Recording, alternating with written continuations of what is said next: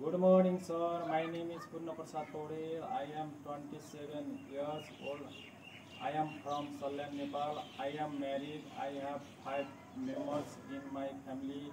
My height is 5 feet 8 inch and in age 60 kg. I have passed SLC. I am physically fit and healthy. I have three years experience as an automobile worker in India.